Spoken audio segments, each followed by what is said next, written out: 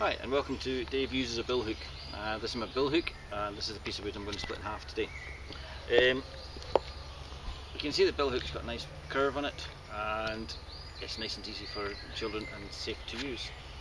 Um, because I'm on my own I'm going to put it on my wood like that and I'm going to use a mallet. Although I don't have a mallet, I have this lump of wood which will be turned into a mallet in one of the next videos. And I'm just going to bash the top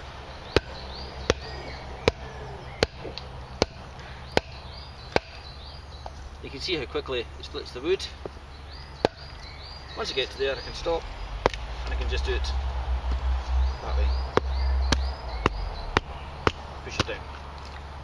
And there we have the wood nicely split in half.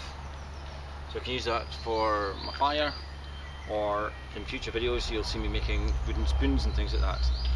Okay, thank you very much for watching.